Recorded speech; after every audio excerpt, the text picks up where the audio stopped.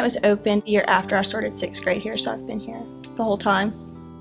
I was scared because it was a middle and a high school, so I was really intimidated by all of the older kids, but I realized that they're really just there to encourage me and help me along the way. It was overwhelming, but in a very cool way. there are so many things to look at and so many things to explore and so many things to learn. Because the community had so much input into the development of the school, they are the ones that said these are the kinds of programs we want our children to have.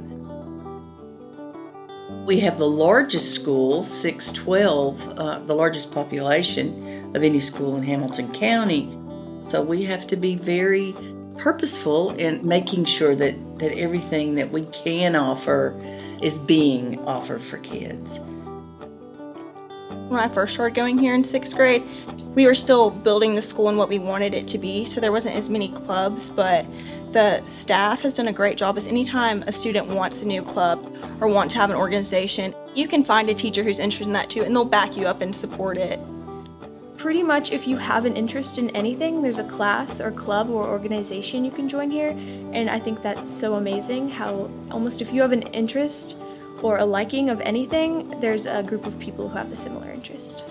And it really just showcases what the students can do. That's what's so great about our school is that we really want to showcase the students, that we care about the students, that the students should be and are driving what happens in the building. That's why we have so many opportunities for things. Our goal as teachers at East Hamilton is to create that a kind of student accountability. We want them to own their education. We want them to create their own path. And we want them to be excited about it. For instance, the other day a senior come in, she needs to make something for a senior project, and uh, this child, the first thing she said was, well, what's something that'll look cool that won't take too long? And I said, no, that, that's not what we do. Is Tell me what kind of message do you want to send?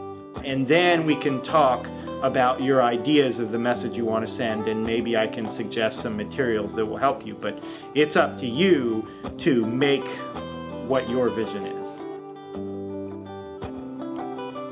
Fine Arts is award winning. We have a great advanced placement program here, so those kids who excel academically have a place in dual enrollment programs.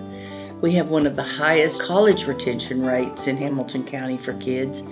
We have a CTE program with work-based learning kids in it, and they're going out and shadowing all over the community. We have mechatronics at Volkswagen. We have kids at Polytech. I mean, our kids are everywhere in Hamilton County now, and I think that's fabulous.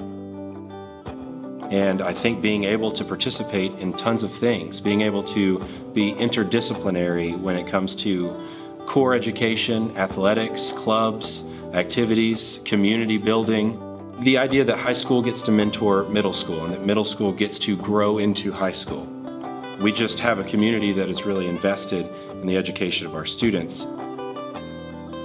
I think that the community also plays a very large role in East Hamilton and especially at like football games and soccer games that it's really cool how we can see everyone rooting for the same thing and for the same team and that um, East Hamilton is definitely a very special place where we can all celebrate and um, learn and grow together.